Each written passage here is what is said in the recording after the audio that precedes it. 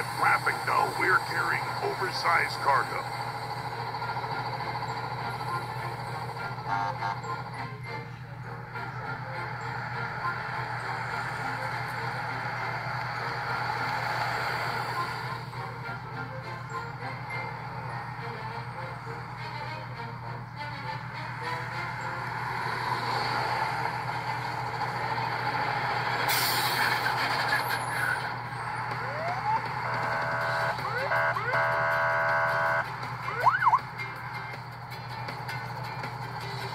Ah.